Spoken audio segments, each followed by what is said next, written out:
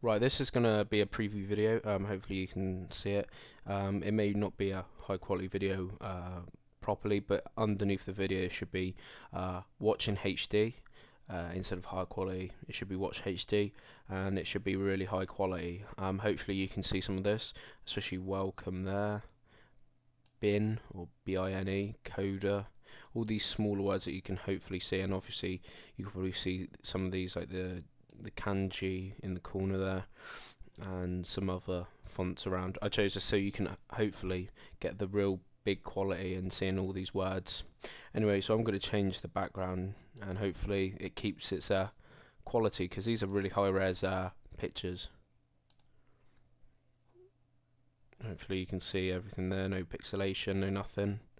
Um, most of these are pretty high quality. Think of something to use. Probably what I use actually. Use some plants. Hopefully you can see that the water droplets. Um, and I'll probably put it on the one I'm going to use. Hopefully, and hopefully you get really the vibrant colours too.